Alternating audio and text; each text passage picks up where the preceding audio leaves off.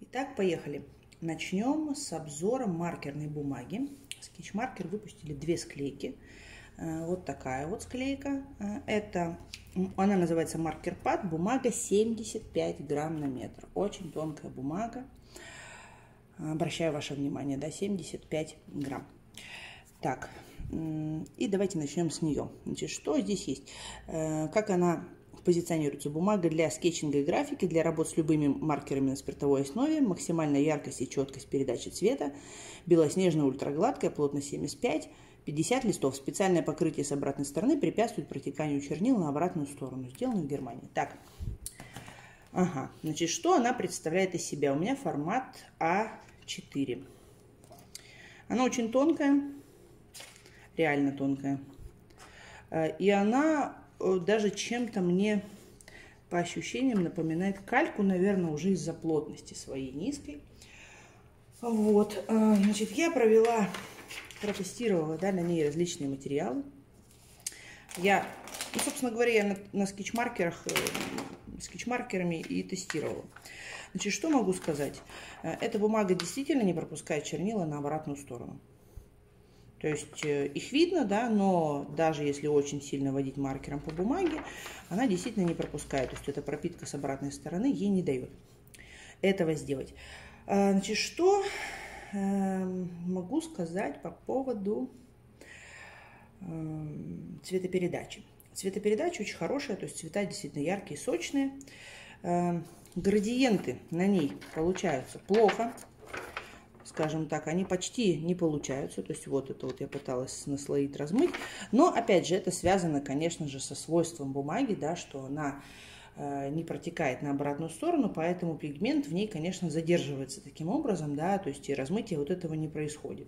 Э, то есть вот здесь вот видно, насколько получается сделать градиент. То есть как бы это, это бумага не для градиентов.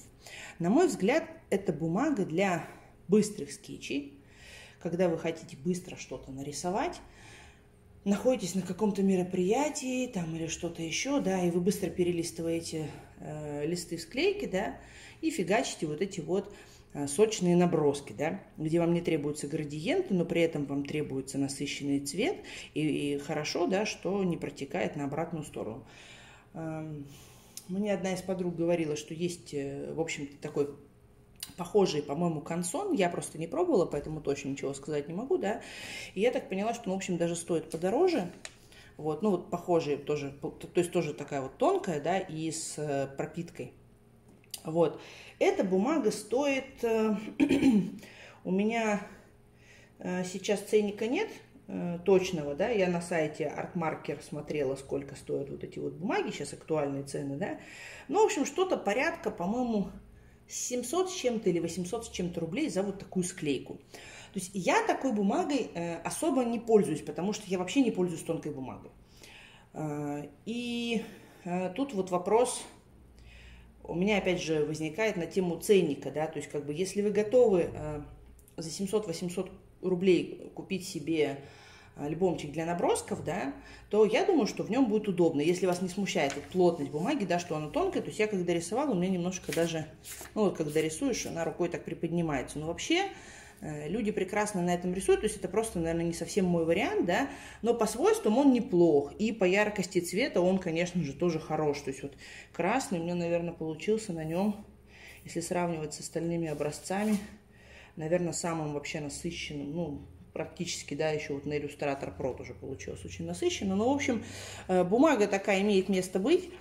То, что она не пропускает чернила реально, это приятно, вот, э, но она, на мой взгляд, э, все-таки для набросков, потому что какие-то другие вещи для быстрых скетчей, да, без корректировок, без растяжек, без градиентов, то есть для чего-то вот такого.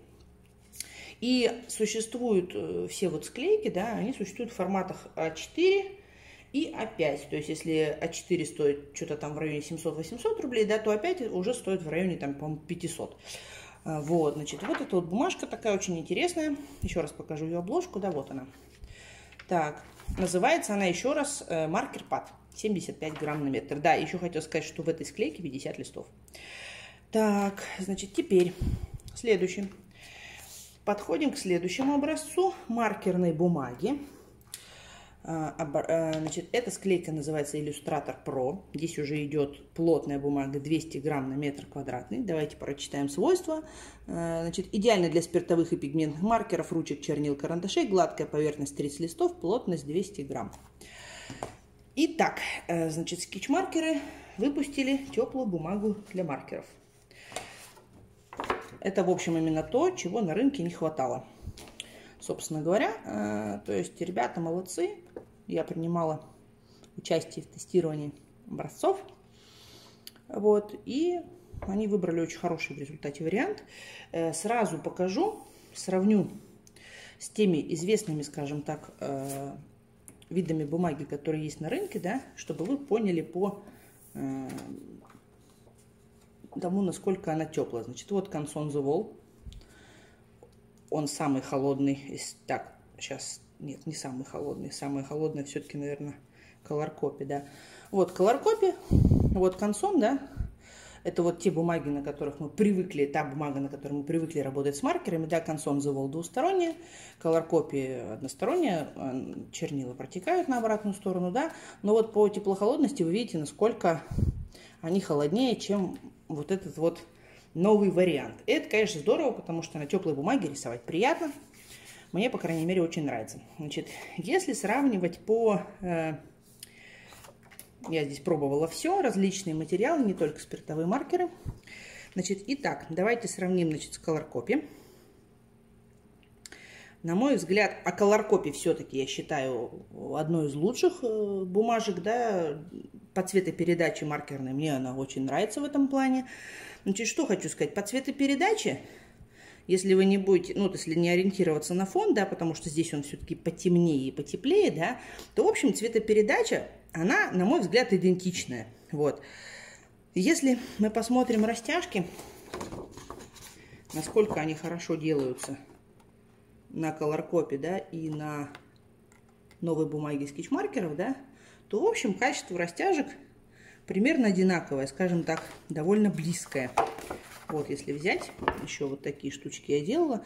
Ну, может быть, на колоркопе чуть-чуть помягче, да, э, на вот этой новой бумаге чуть-чуть чуть-чуть сильнее видна граница, но на самом деле тут надо прям сравнивать, самим тестировать, если вы хотите попробовать, если вы хотите получить бумагу теплого цвета, я думаю, что нужно, ну, покупать и пробовать. Вот. Влажные техники она не держит, эта бумага, то есть она, точнее, как не держит, она э, плотная, да, на ней э, все жидкие вещи очень долго сохнут. Поэтому для влажных техник я бы ее вообще не рекомендовала, но там, собственно говоря, и не позиционируется, да. А если мы возьмем вот это вот, допустим, у меня эколайны, э, так, это эколайны, все линеры, вот как на ней рисуют карандаш, э, перьевые ручки на ней тоже все отлично пишут, почти не смазываются, я когда тестировала, посмотрела, то есть пальцем они почти не смазываются на ней. То есть, в общем, она, пожалуй, то есть по свойствам своим похожа на Color. Вот, если э, сравнивать с, ну, по, именно по свойствам, да, как, как на ней работать, то есть, в принципе, работать на ней, на мой взгляд, отлично. Э, только вот э, еще тоже, опять же, момент ценника, да, то есть мы все, конечно же, сравниваем по цене, да, э, это склейка стоила 995 рублей. Давайте я ее верну обложку, чтобы вы еще раз посмотрели. Э, значит, склейка стоит 995 рублей, почти 1000 рублей за 30 листов. То есть, если брать колоркопи для принтера, да, то эта цена, конечно же, будет другая. Но, опять же, э, если сравнивать там с другими бумажками, консон и прочее, да, то Конечно же, там стоимости другие, потому что там уже не как бумага для принтеров она идет, да, как бумага для художников. Поэтому здесь, конечно, сравнивайте, но, скажем так, цена, на мой взгляд, она не низкая. То есть 956, э, ой, извиняюсь, 995 рублей за вот эту вот склейку. Но попробовать, конечно же, очень интересно. Вот, посмотреть ее в работе, теплый цвет. То есть, на мой взгляд, именно для маркеров э, откровенных аналогов вот этой на рынке пока нет. А, чтобы можно было что-то подобрать там значительно дешевле, допустим. Так, убираем, убираем, убираем. А, ну вот еще, кстати, можно посмотреть. Вот у меня как раз полосочки. Вот это вот поближе цвет, тон. Значит, вот это вот у меня идет Сейчас как бы так зажать, чтобы не... Это Color Copy. Это вот как раз uh, Illustration Pro Sketch Marker, да, а это... А, извиняюсь, это консон, это Color Copy, вот, а вот это Sketch Marker. То есть тон у нее, конечно же, очень приятный. Так, следующий интересный вариант – это Mixed Media ProPad. А четвертого формата – это бумага для смешанных техник. Вот давайте посмотрим, для чего она рекомендуется. Это бумага для разных техник. Высококачественная бумага, выдерживающая мокрые техники, идеальна для маркеров, акварельных, спиртовых, пигментных карандашей, чернил угля. 30 э, листов, плотность 160, шероховатая поверхность. Итак, вот он образец. Вот он образец, я на нем тестировала э, различные виды перьевых ручек. То есть вот у меня не размывающимися чернилами, вот с размывающимися чернилами. Это у меня поска. Поска не на все ложится хорошо, сюда она ложится очень хорошо. Она здесь абсолютно не дерет, не травмирует лист.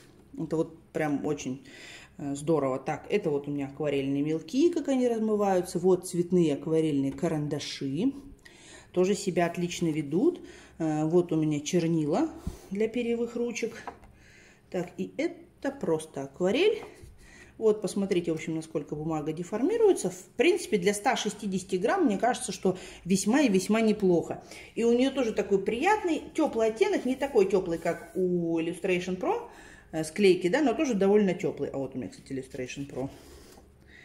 Хотя, вы знаете, нет, они, наверное, похожи все-таки. Ну, на это чуть-чуть похолоднее. Но, в общем, Э, хорошая бумага.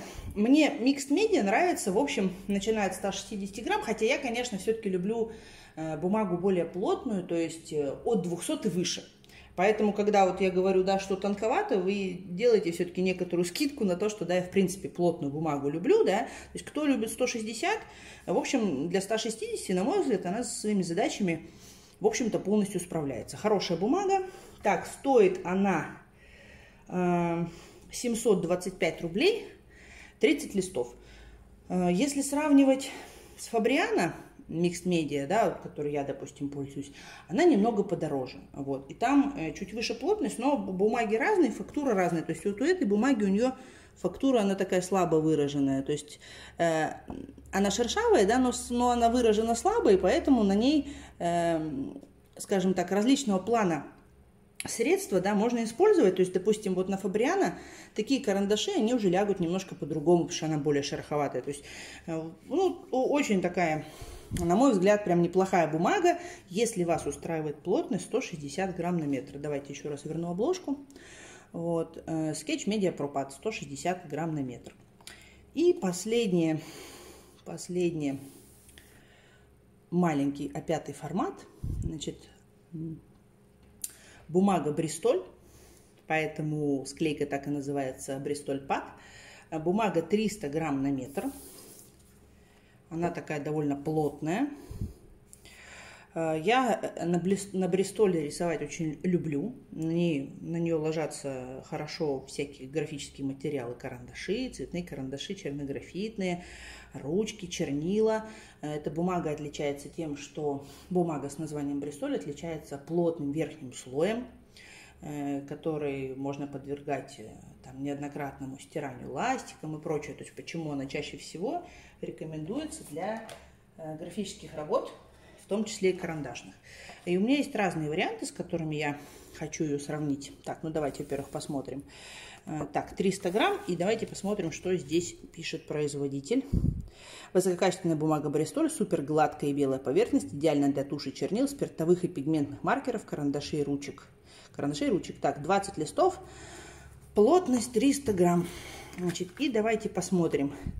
Э, для маркеров спиртовых Э, на мой взгляд, не особо. То есть вот можете посмотреть, как это выглядит. Для акварельных, в общем, неплохо, но тоже, скажем так, сохнет прилично, потому что, ну, все-таки эта бумага не для э, мокрых техник, да, а для сухих. Вот, э, то есть я имею в виду что? То есть как бы спиртовые, спиртовые маркеры, допустим, ой, пигментные маркеры, допустим, да, они все-таки, э, там небольшое количество воды, чем там в акварели, когда вы кистью уже работаете, да.